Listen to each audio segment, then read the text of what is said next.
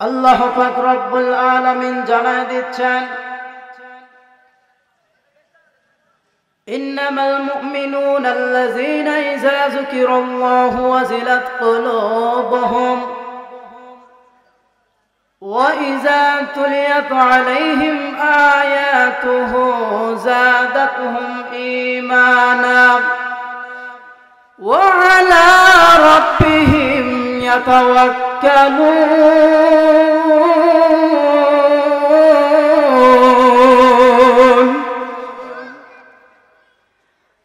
আল্লাহ পাক রব্বুল আলামিন জানায় দিচ্ছেন ও গোলাম তোমরা যারা মুমিনের মন নিয়ে বসো যারা তোমরা ইবাদতে মশগুল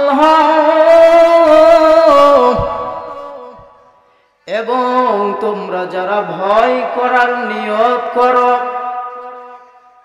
আমি আল্লাহ আমাকে যারা ভয় করো, তাদেরকে আমি আল্লাহ তালার পক্ষ থেকে আমি আল্লাহর দেওয়া নিয়ামত পবিত্র কোরআনুল করিম সোনার পরে আমার বান্দাদের ইমান আমি আল্লাহ বাড়ায় দেই।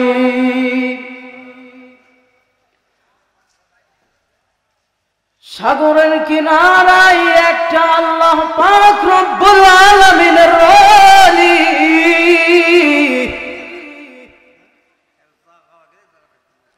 আল্লাহ রব্বুল আলামিনের ধ্যানে পড়ে গেলেন চল্লিশ দিন যাবত ডাক দিয়ে বলতেছেন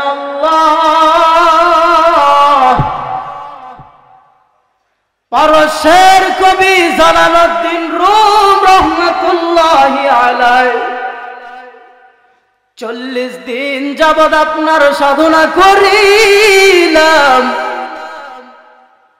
কিন্তু আপনার সাধনা করার পরে এখনও আমি চিনলাম না। আপনি আপনার আসমান কি দিয়ে সাজিয়েছেন? এবং আপনার জমিনকে কি দিয়ে সাজিয়েছেন? চল্লিশ দিন কেটে গেল, কোনো জবাব আসে না। যখন একচল্লিশ দিন হয়ে গেল জালালউদ্দিন রুম রহমাতুল্লাহ আলাই তার জ্ঞান নিয়ে একটু মগ্ন হয়ে গেলেন। এরপরে দেখতেছেন, রৌনক বস মে সমারাজ রওয়াকিব কর দইন রৌনক বস মে জমিরাজ উলামা কিব কর দইন বলেন আল্লাহু আকবার। এই জালাল, পারস্যের কবি, তুমি একচল্লিশ দিন যাবৎ সাধনা করিতেছ, আমি আল্লাহ আসমান কি দিয়ে সাজিয়েছি, জমিন কি দিয়ে সাজিয়েছি, তোমার জানার বড় দরকার। দেখো, পবিত্র কোরআনুল কারিমে আমি আল্লাহ পাক রব্বুল আলামিন দিয়েছি, বলেন সুবহানাল্লাহ।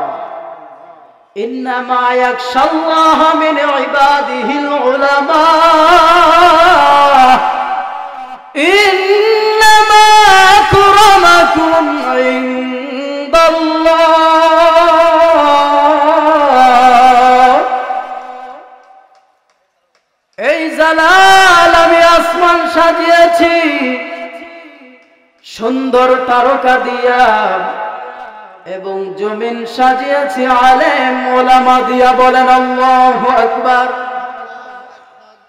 জালালউদ্দিন রুম রহমাতুল্লাহি আলাই ডাক দিয়ে বললেন, ও দয়ার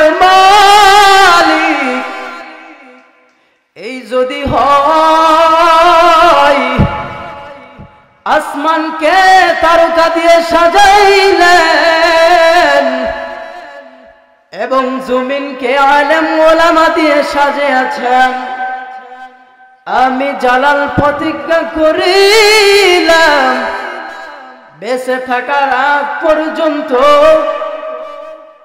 যত জনকে পারব এই উপদেশ দিয়ে যাব, আল্লাহ মহান, আল্লাহ এক, আল্লাহর কোন শরিক নাই। আল্লাহ পাক রব্বুল আলামিন قل هو الله احد الله الصمد لم يلد ولم يولد ولم يقل له كفوا احد بل الله اكبر ও বন্ধু, তুমি কেন আল্লাহ পাক রব্বুল আলামিনের গোলামি করবে না?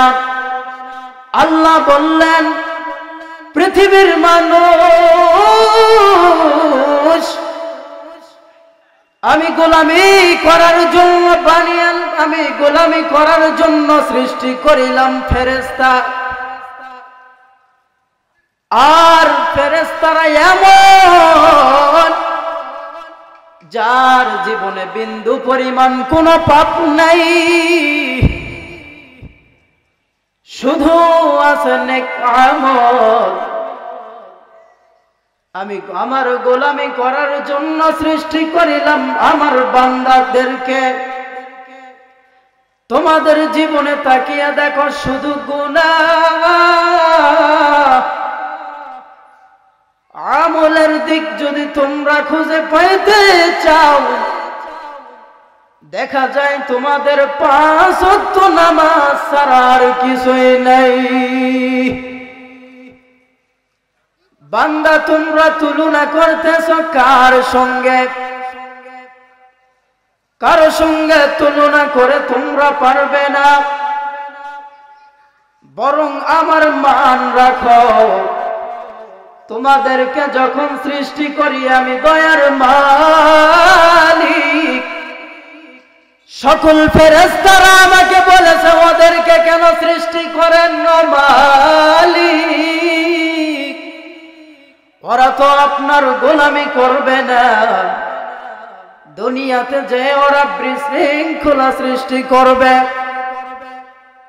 আল্লাহ পাক রব্বুল আলামিন বলেন আমি রব, আমি ভালো জানি আমার বান্দা। গোলামি করবে, বরং তোমরা ফেরেস্তারা চুপ করে থাকো।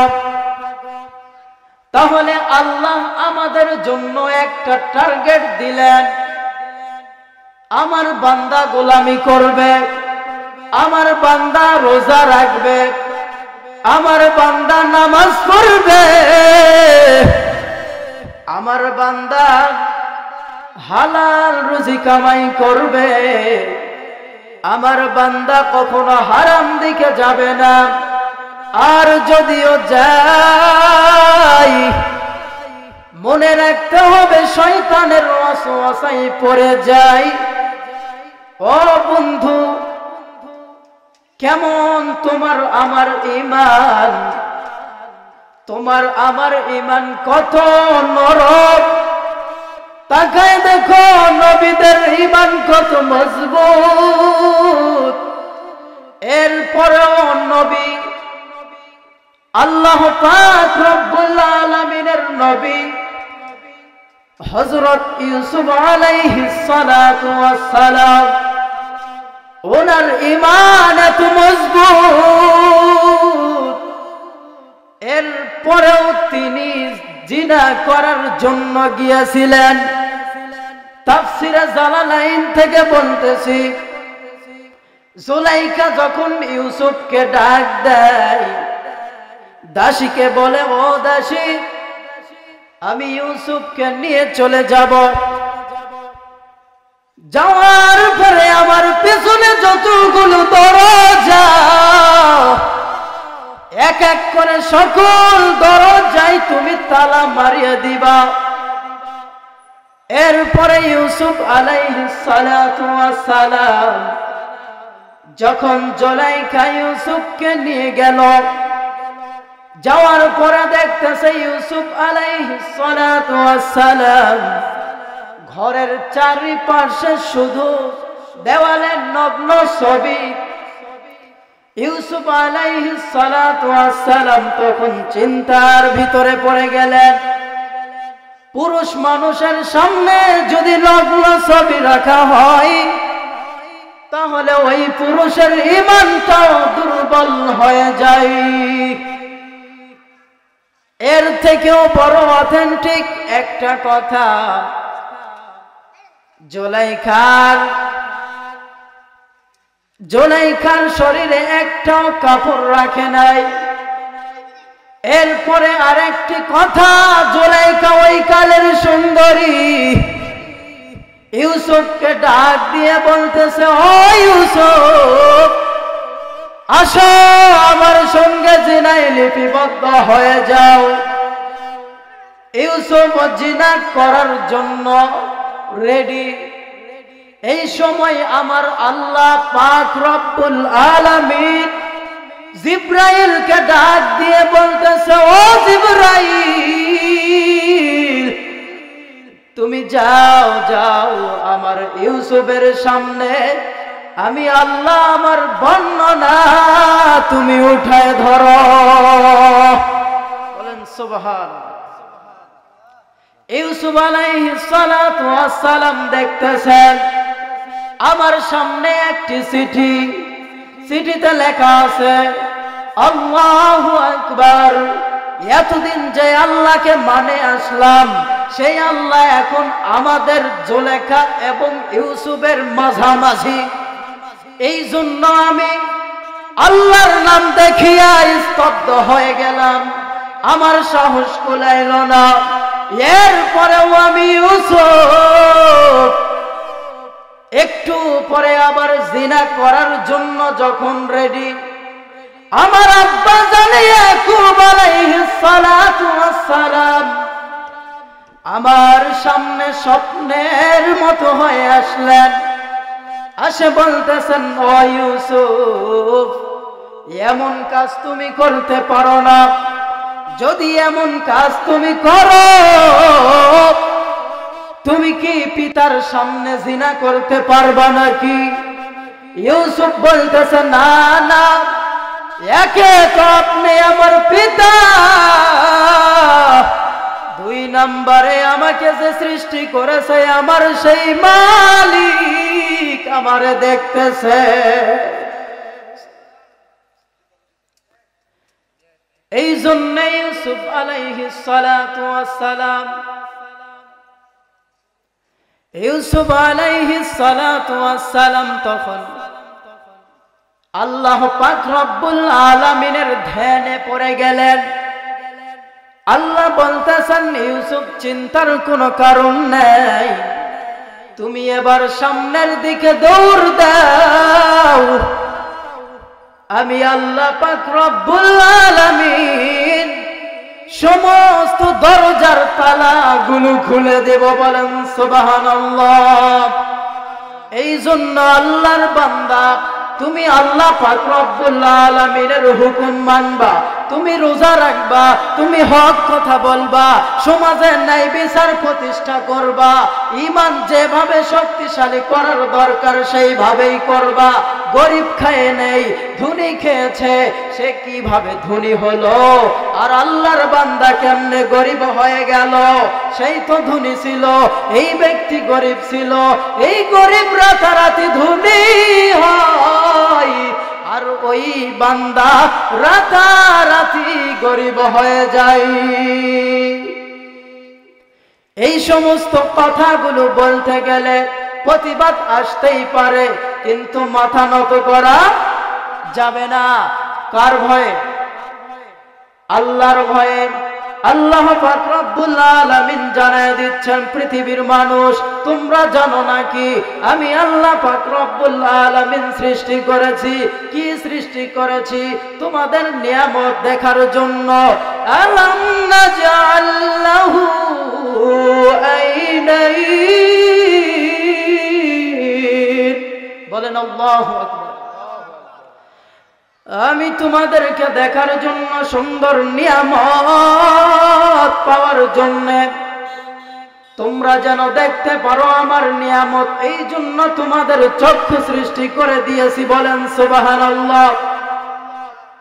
রসুল সাল্লামে কথা বলেন, আল্লাহর দেওয়া কোরআন থেকে বিজ্ঞান রসুলের হাদিস দেখে বলেন আল্লাহ তাআলা যে চক্ষু সৃষ্টি করেছেন এই চক্ষুর ভিতরে ছোট্ট ছোট্ট চিকুন চিকুন রক দিয়েছেন আল্লাহ। এক লক্ষ সত্তর হাজার বলেন সুবাহান বিজ্ঞান বলেন এই এক লক্ষ সত্তর হাজার রগের ভিতরে যদি একটাও চোখের রগ অকেজ হয়ে যায় ওই ব্যক্তি তিন দিনের ভিতরে পাগল হয়ে যাবে। নিয়ামত আমার আল্লাহ নিয়ামত পাওয়ার পরেও যে ব্যক্তি শুক্রিয়া আদায় করে না, আমার আল্লাহ তাকে নিয়ামত থেকে বঞ্চিত করে দেয়। আল্লাহ বলেন, শুধু এখানেই শেষ না, সামনে রয়েছে।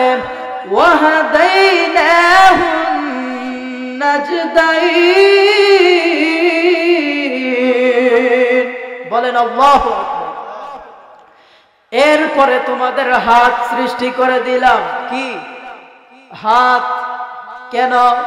এই হাত দিয়ে সুন্দর সুন্দর ফল মূল আমার নিয়ামতি ফল, আমার নিয়ামতের মাছ, আমার নিয়ামতের পানি, আমার নিয়ামতের সুন্দর খাবার তুমি মুখে উঠাইবা।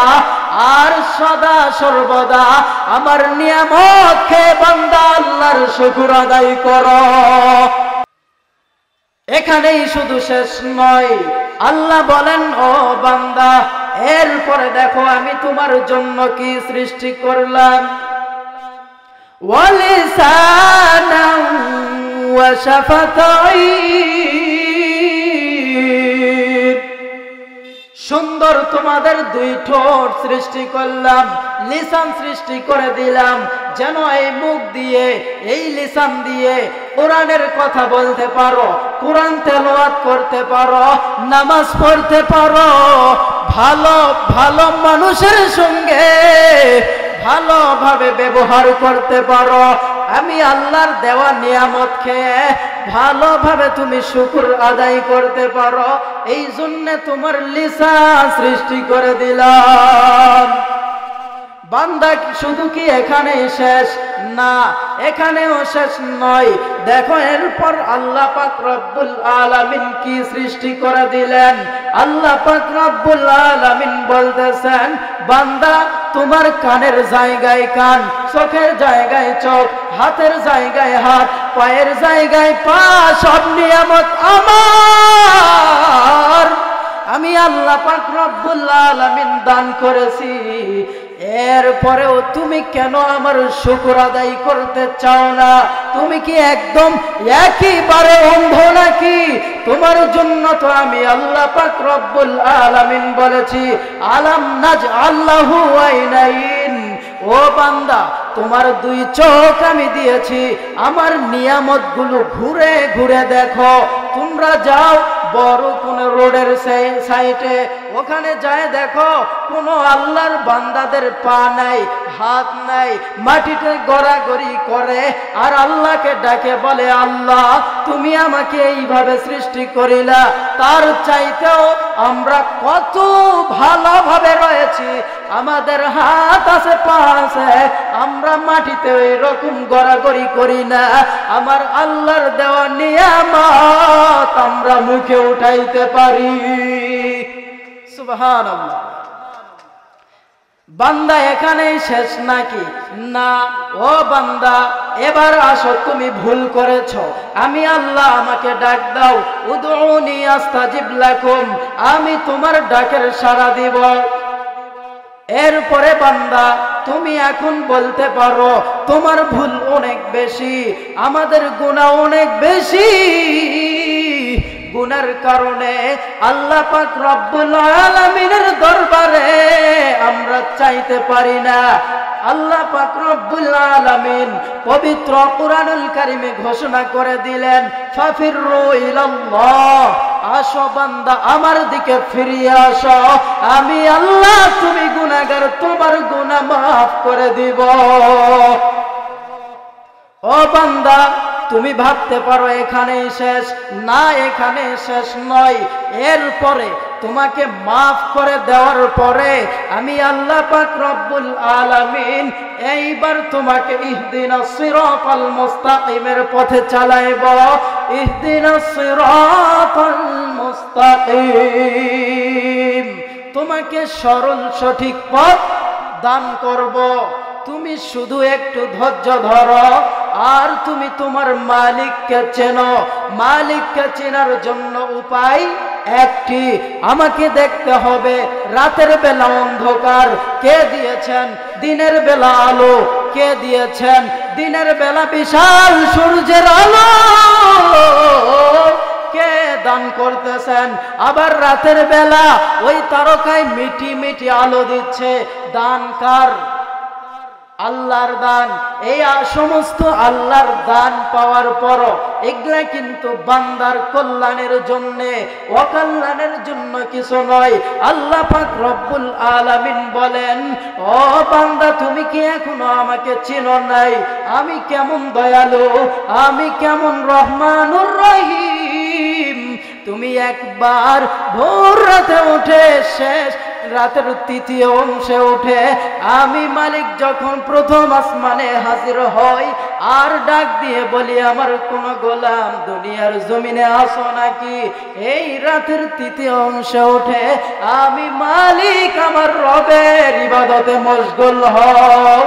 আমি রব্বুল আলামিন তোমার ইবাদত পেয়ে তোমার উপর খুশি হয়ে নাজাত দান করে দিব বলেন, সুবহানাল্লাহ। কার নাজাত চাইতে হবে? জান কি মুমিন ভাই? কার নাজাত পাইতে হবে? জান কি মুমিন ভাই? ওরান দেখো, হাদিস পর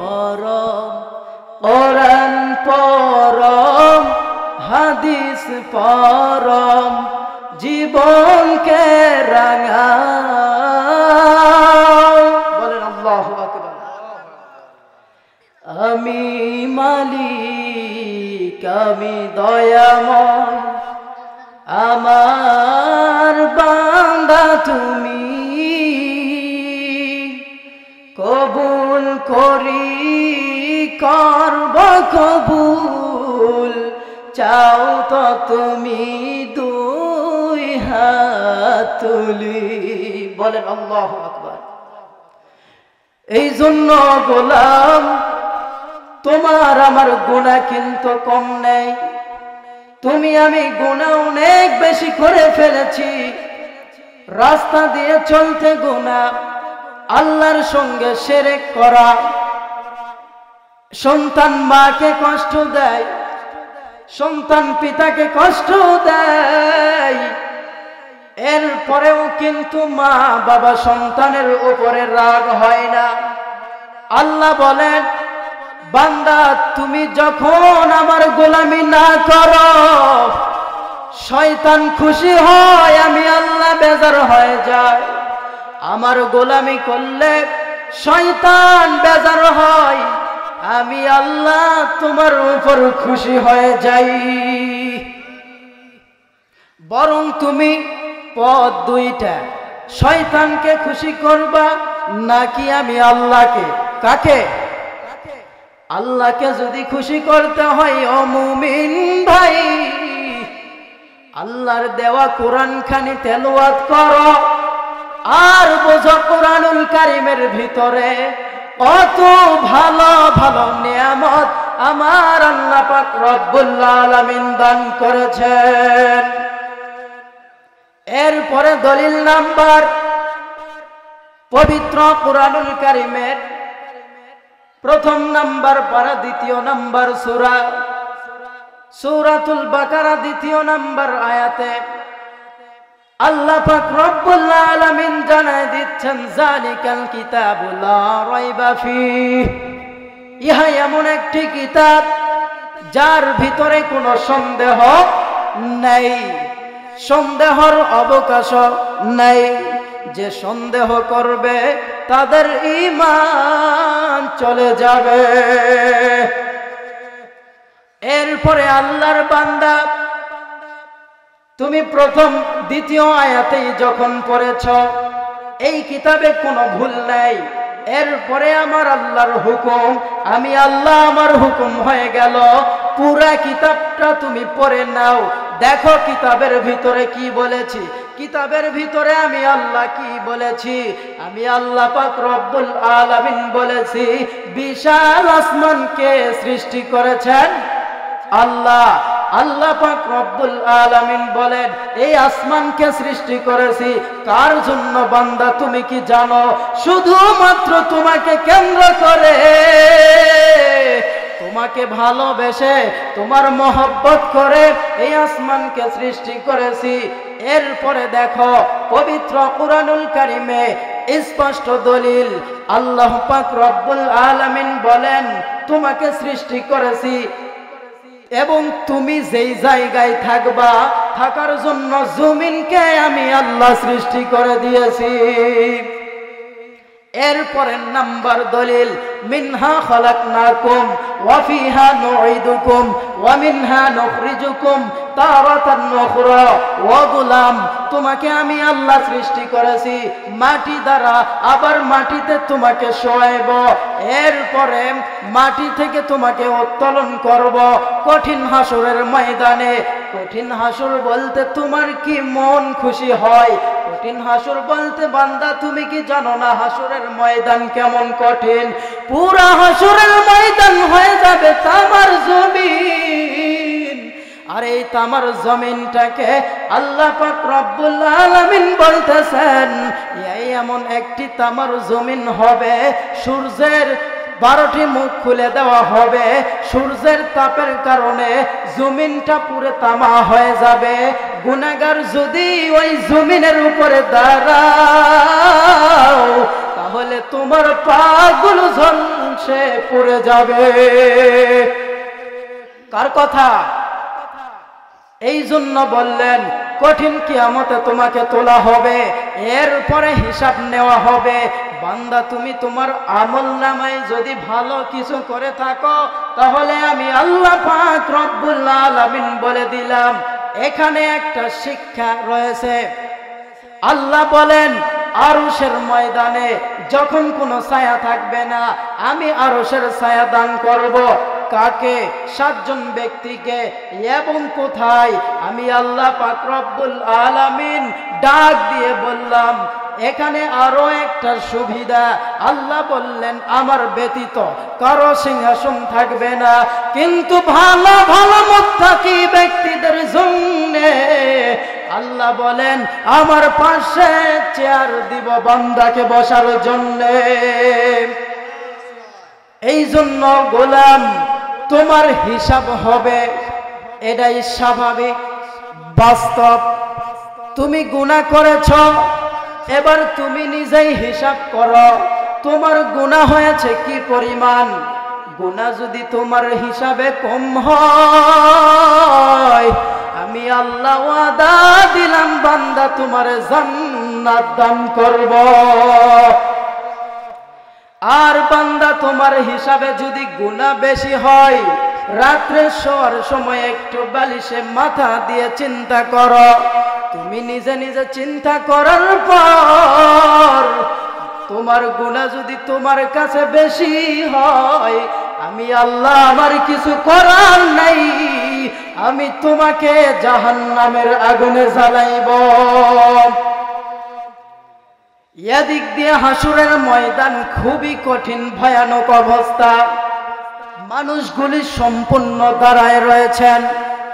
কেউ কারও দিকে তাকাইতেও পারবে না। ওই দিক থেকে জাহান নাম ডাকিয়ে ডাকিয়ে বলবে, ও গুণাগারের দল,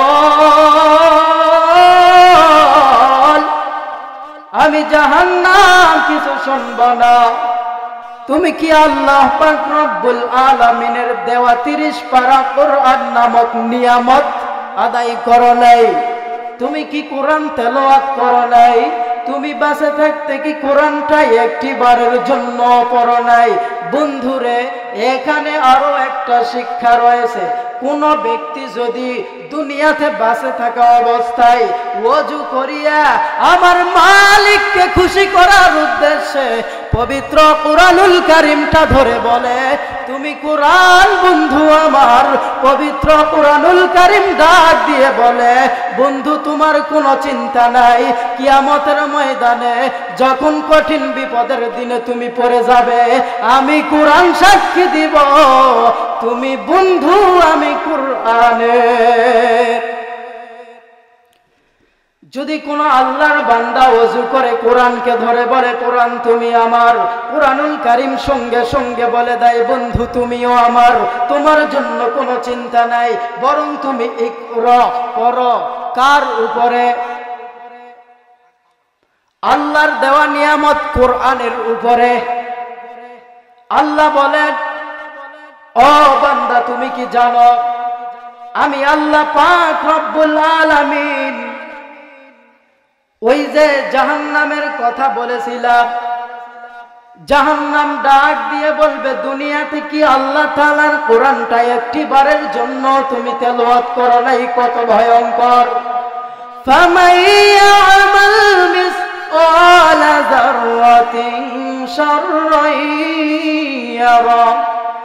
এই সুরাতে আছে জাহান নামের ভয়াবহ আলোচনা সুরান্নাবা এই সুরাতেও রয়েছে জাহান নামের ভয়াবহ আলোচনা।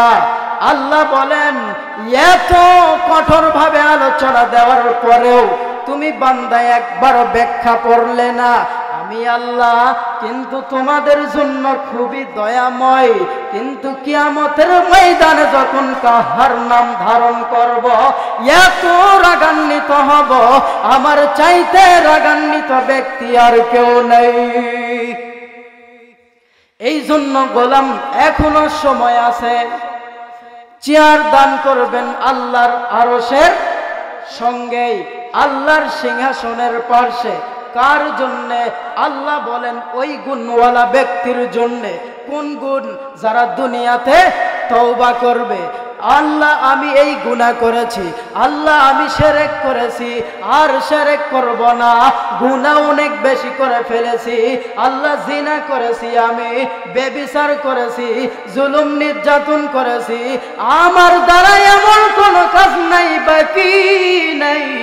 আমি সম্পূর্ণ খারাপ কাজগুলো করেছি, এখন কি আমারে মাফ করে দেওয়া যাবে? আল্লাহ বলেন অবশ্যই বান্দা, আমার দিকে ফিরে আসো। দৌড়াও বান্দা, ওয়াসারিউ তোমার রবের দিকে দৌড়াও বান্দা, তুমি যদি রবের দিকে দৌড় দাও, আমি রব কথা দিলাম, তোমার তওবাকে কবুল করব। তোমার সাপ আমি আল্লাহ পূরণ করব, তোমার গুণাগুলো মাফ করে দিব, বলেন সোবাহান এই জন্য আল্লাহ পাক রব্বুল আলামিন বলতেছেন, ওই যে খাঁটি তওবা যেই ব্যক্তি করবে, একবার, কয়বার? একবার আমি সব কিছু করেছি, আর করব না। বাস, এখানেই শেষ। এর নাম তওবাতুন নাসুহা। একবার করেছে মরণের আগে। যেটা করেছি, যেমন ধরেন মিথ্যা করে, মিথ্যা কথা বলেছি, আর বলব না। প্রয়োজনে জীবন যেতে পারে, ফাঁসির মঞ্চে দাঁড়াইতে পারে। তবুও মিথ্যা বলব না। আল্লাহ বলেন, অবশ্যই আমার সিংহাসনের পাশে তোমার জন্য হাসুরের ময়দানে চেয়ারের ব্যবস্থা করে দিব। এরপরে বান্দা আরও এক ব্যক্তিকে, কোন ব্যক্তি? বলে, ইমান, মজবুত ইমান তোমার ভিতর আছে নাকি? কারণ আজকে দেখতে গেলে প্রত্যেকটা মুসলিম ভাইয়ের ভিতরে একটা রোগ ধরেছে। রোগের নাম আমি দিয়েছি সুকমিনা রোগ। কি রোগ? এই রোগের নাম একটাই কারণ। কারণ কথা বলি একটা, আরেক গ্রামে যাই বলি আর একটা আছে না নাই? এক ভাইয়ের সামনে বলি একটা, আর অপর আরেক ভাইয়ের সামনে যায় বলতেছি আরেক, আরেকটা। এটার নাম মোনাফিক। আর এর জন্যই নাজিল করেছে সুরাতুল মোনাফিকুন। কাফেরদের জন্য নাজিল করেছে কাফিরুন। মুমিনদের জন্য নাজিল করেছে মুমিনুন। ও আল্লাহর বান্দা, তুমি কি জানো, আমি আল্লাহ পাক রব্বুল আলামিন এই জন্যই সব কিছু তোমাকে দিয়েছি। এরপরেও তুমি কেন আমি আল্লাহ আমাকে মানতে চাও না? মোনাফিকি করো না। খাটি ইমানওয়ালা যদি হও, তাহলে আমি আল্লাহ আমার পাশে তোমার একটা চেয়ার দান করব বলেন সুবাহান এরপরে আল্লাহর বান্দা শোনো ইমানকে কেমন মজবুত রাখার দরকার? এখন যদি বলা হয়, রাসুল সাল্লাল্লাহু আলাইহি সাল্লামের দুই দাঁত ভেঙেছিল, কোথায়? কোথায় বলতে পারবেন? উহুদের ময়দানে। কেন? যুদ্ধের জন্যে, সত্য প্রচার করার জন্যে। আল্লাহ বলেন হে রাসুল, ইয়া আইয়ুহাল মুদাসির হে কুম্বলওয়ালা, ওঠো, আমার দিন প্রচার করো, তুমি তাবলিক করো। তাবলিক আসলে কি জানেননি আপনারা? এই যে কথা বলতেছি কোরআনের মাহফিল, আল্লাহ বলেন অবশ্যই, এই যে কোরআনে স্পষ্ট দলিল, এটার নাম তাবলিক মসজিদে যায় করেন, ওটার নাম তালিম।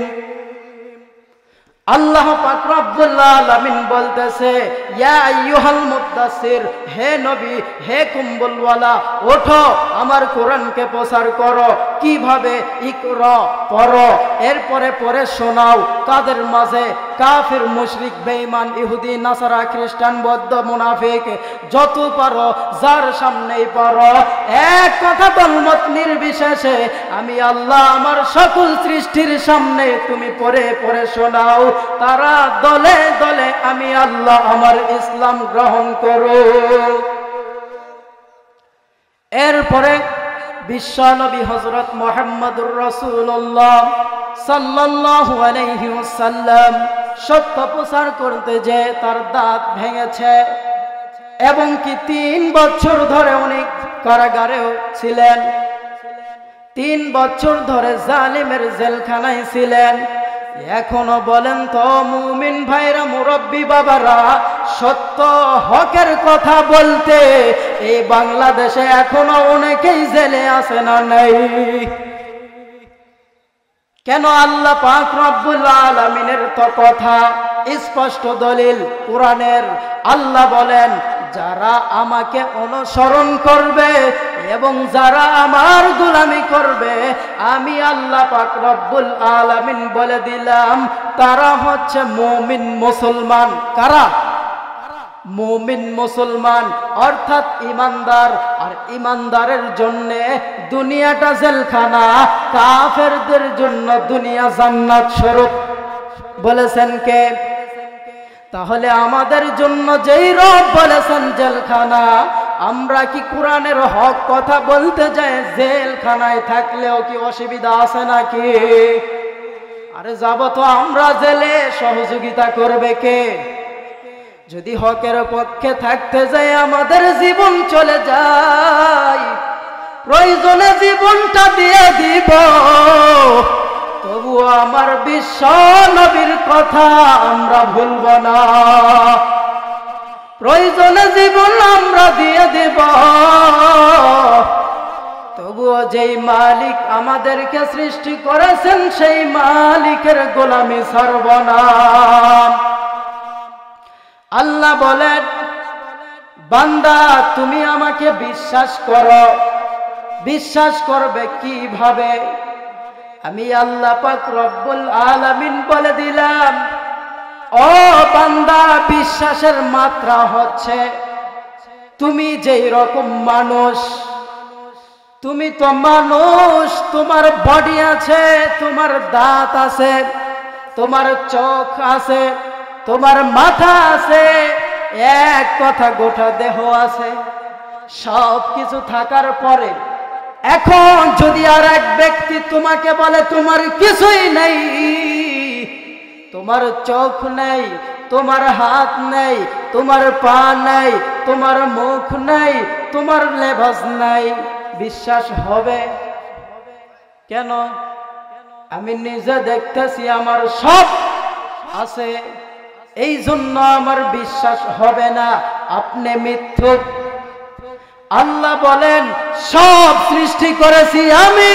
কোন জালিম যদি বলে সৃষ্টি করে নাই, আল্লাহ বলতে কিছু নাই, বিশ্বাস করিও না, নইলে মুনাফিক হয়ে মারা যাবে, কাফের বেঈমান হয়ে মারা যাবে। ওদের কথাই কান্না দিয়ে কোরআনুল কারিম যদি তোমরা দেখো, আলহামদুলিল্লাহ রব্বিল আলামিন, সমস্ত প্রশংসার মালিক কেন? সমস্ত প্রশংসা কেন হলো? আল্লাহ বলেন, আমি বিশাল জমিন, আসমানে যা কিছু দেখতেছ, সব সৃষ্টি করেছি এই জন্যেই। কথা বলেন। বিশাল আসমান এবং জমিনে সব কিছু সৃষ্টি করেছি এই জন্যই তো প্রশংসা পাওয়ার মালিক আল্লাহ। দুনিয়ার কেউ নয়। কারণ তোমরা কিছু সৃষ্টি করতে পারো নাই। তোমাদের বাহাদুরি ফেরাউনের মতো। তোমাদের বাহাদুরি নমরুদের মতো। তোমাদের বাহাদুরি হামানের মতো। কিন্তু আমি আল্লাহ আমার বাহাদুরি জমিনকে সৃষ্টি করেছি, আসমানকে সৃষ্টি করেছি। তোমাকেও সৃষ্টি করেছি। সব কিছুকে সৃষ্টি করার পরে এর পরেই তো আমি আল্লাহ বলে দিলাম, প্রশংসা পাওয়ার মালিক আমি আল্লাহ। এরপরেও কি তোমার বিশ্বাস হয় না? হে বিশ্বাস, যদি না হয় অমুমিন ভাই, তাহলে তুমি কবরে যেয়ে দেখো। কবরে যায় দেখবা এই পর্যন্তই কি শেষ? না, কখনোই শেষ হতে পারে না। কবর ডাক দিয়ে বলতেছে, আমি দিনে পাঁচবার তোমাকে স্মরণ করতেছি, আল্লাহর বান্দা। আজরাইল আলাইহিস সালাতু আসসালাম ডাক দিয়ে বলতেছেন, আল্লাহর বান্দা, আমিও দিনে তোমাকে পাঁচবার সালাম জানাইতেছি। তুমি যাচ্ছ কোথায়? তুমি যদি আমি আজরাইল আমাকে ছেড়ে যাও, আমি আজরাইল কিন্তু তোমার সার দেব না। কবর বলেন, তুমি যাবে কোথায়? আমি কবর আগুনের ঘর আমি কবর সাপের ঘর, আমি কবর বিচ্ছুর ঘর। আমি নেককারের জন্য হয়ে যাব জান্নাতের ঘর, এবং গুণাগারের জন্য আমি চিনব না কে আপন, কে পর। কবর ডাক দিয়ে বলে, এই যে মাটির নিচে তোমাকে বান্দার দাফন কবর দেওয়া হয় কেন তুমি জানো নাকি? বান্দা, তুমি একটু গবেষণা করে দেখো। কবর দেওয়ার একটাই কারণ। কারণ যদি বান্দা গুণাগার হয়ে যায়, কবরের ভিতরে বিশাল সুলঙ্গ জাহান্নাম পর্যন্ত চলে যায়। বান্দা যদি গুণাগার হয়, তাহলে তাদের ক্ষেত্রে এটা আর যদি বান্দা জান্নাতি মেহমান হয়, কবরে যাওয়ার পরে একটা প্রশ্ন রয়েছে, এরপরে আরও তিনটা রয়েছে। সামনাসামনি একটা প্রশ্ন এবং পরীক্ষা, সেটা কি, বান্দার যখনই মত হয়ে যাক না কেন ধরেন আমরা এই সময় এন্তিকাল করলাম, আমাদেরকে যদি এখন জানাজা করে মাটি দেওয়া হয়, কবর দেওয়া মাত্র সময়টা, কবরের ভিতরের সময়, আসুরের সময় হয়ে যায়। কারণ ফেরেস্তা আসুরের সময় ওই বান্দার কবরে আসে। এসে বলে, আল্লাহর বান্দা, ওঠো। বান্দা উঠে বসে পড়ে।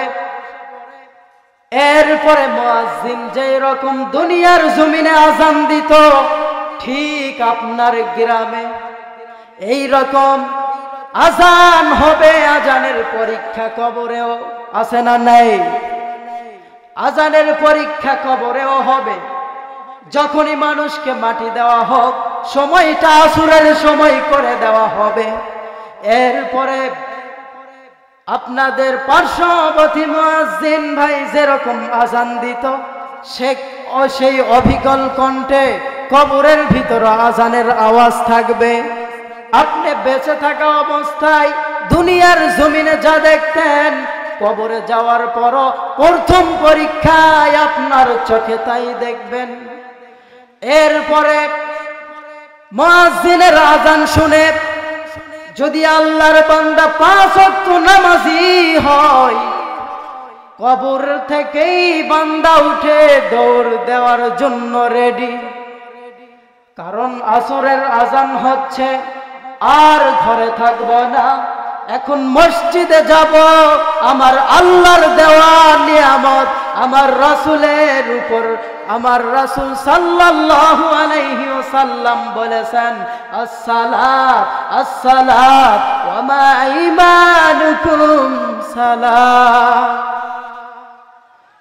আমি সালাত আদায় করার জন্য মসজিদে চলে যাব। ফেরেশতারা ডাক দিয়ে বলবে, আল্লাহর বান্দা এটা কবর, এখানে সালাত আদায় করার জায়গা নয়। বরং তুমি প্রকৃত নামাজি, আল্লাহ তালার পরীক্ষায় তুমি পাস আল্লাহ বলেন, ও ফেরেস্তা আমার বান্দারে আর ডিস্টার্ব দিও না।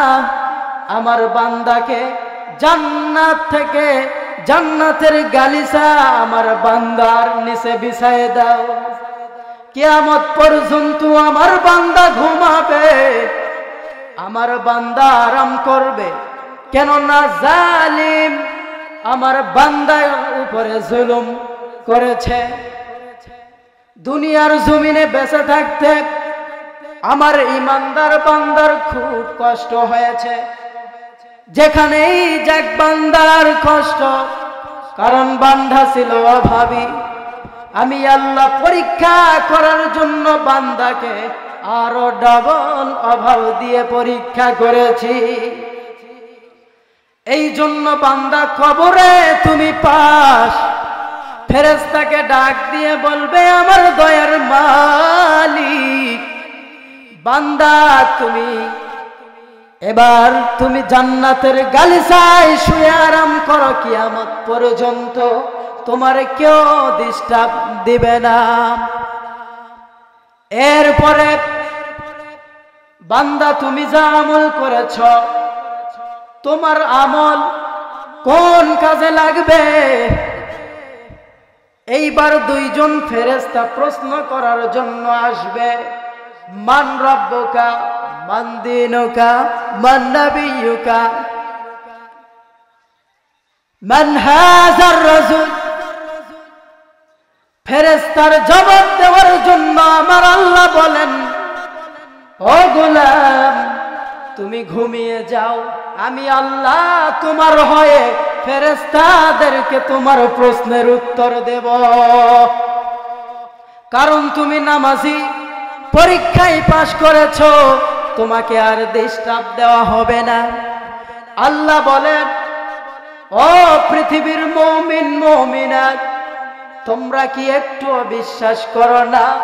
কবর নামক জায়গায় তোমাদেরকে আসতেই হবে। আর যদি কবরে যেতে হয়, রাসুল সাল্লাল্লাহু আলাইহি বলেন, প্রকৃত ইমানদার না হয়ে কবরে যেও না, কারণ কবর এমন ঘর। বান্দা, তুমি একালেও শান্তি পাইলে না, পরকালেও পাবে না। এই জন্য আমরা আল্লাহর গোলামি করতে কারা কারা প্রস্তুত? দুটো হাত তুলে দেখায় আল্লাহ কবুল করেন, সকলেই বলি আমিন। আল্লাহর বান্দা সব কিছু জানি, সামনে মাহে রমজান মাস আসতেছে।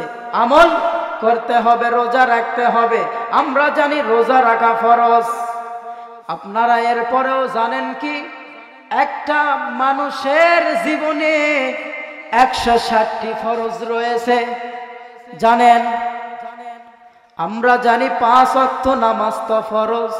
রোজা ফরজ জাকাত ফরজ, হজ ফরজ, এমন আরও একশো একশো ষাটটি ফরজ মানুষের জীবনে রয়েছে। আল্লাহ যদি আবার কোনোদিন আসার তৌফিক দান করে, ওয়াদা করলাম, একশো ষাটটি ফরজ, এক থর এক থেকে ধরে ষাট পর্যন্ত সমস্ত ফরজের কথা বলে দেব। আমার বন্ধু মুরব্বী বাবা, পর্দার আড়ালের মা, সবাই জানি ভালো আমল যদি অল্প হয়, আমার আল্লাহ নাজাদ দান করবেন। আখলিস দিনাকা ইয়াকফিকাল আমানুল কলিল। অল্প আমল মুমিন মুমিনাতের জন্য যথেষ্ট খৈরুকুম মান তাআল্লামাল কুরআন ওয়া আল্লামা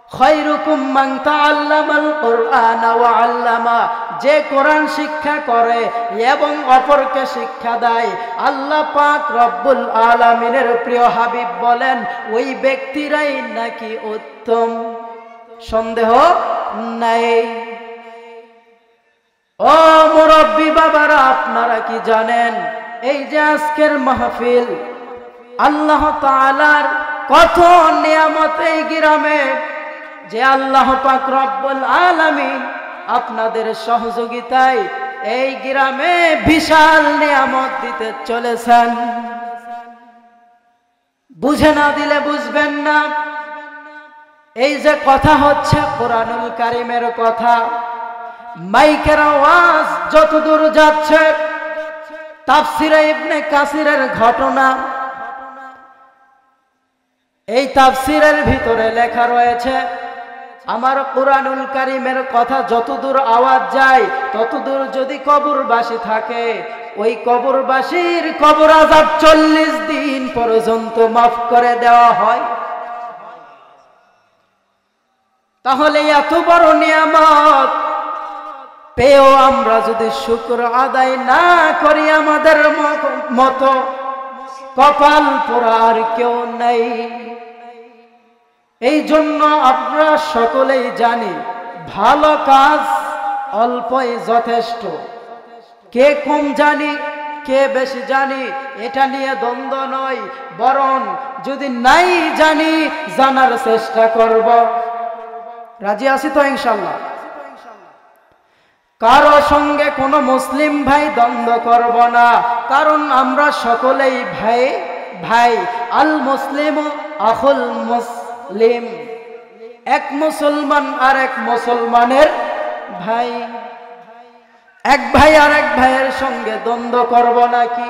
না হতে পারে না। আমাদের মাথায় টুপি, আমাদের গায়ে রাসুলের দেওয়া সুন্দর পোশাক।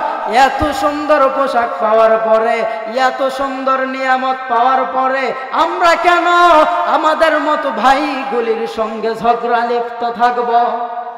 বরং যারা আসে না আল্লাহর দেওয়া নিয়ামত মানবিত ইসলাম। আল্লাহর দেওয়া ধর্মর নাম হচ্ছে ইসলাম। এর বিকল্প কিছু নাই। ইসলাম ইসলাম এবং ইসলাম। তাহলে আমরা যারা মসজিদে যাই, এখন ঠেলা ঠেলি শুরু করে দেই। করব, ভালো আমল করব। এবং তার পাশাপাশি আমরা দোয়া করব এই মাহফিলের আশেপাশে যত কবরস্থান রয়েছে, সকল মুদ্রাবাসীকে আল্লাহ যেন মাফ করে দেয়, মাহফিলকে কেন্দ্র করে বলে আমিন। এবং আজকের মাহফিলকে যেন আল্লাহ পাক রব্বুল আল আমিন কবুল করেন, বলেন আমিন। এবং এর পাশাপাশি আমি আরেকটা দোয়া বলি, আরেকটা কথা বলি, আমি ছোট্ট অধম। আমি গুণাগার কথার ভিতরে যদি কোনো ভুল ত্রুটি থাকে, অবশ্যই আপনারা মাফ করে দিবেন এবং আপনারা জানে দেওয়ার চেষ্টা করবেন। তাহলে আমি সংশোধন করতে পারব ইনশাআল্লাহ। এবং আমার জন্য দোয়া করবেন, আল্লাহ পাক রব্বুল আলমিন যেন এভাবে সারা বিশ্বে পবিত্র কোরআনুল কারিম প্রচার করার তৌফিক দান করেন। বলি আমিন।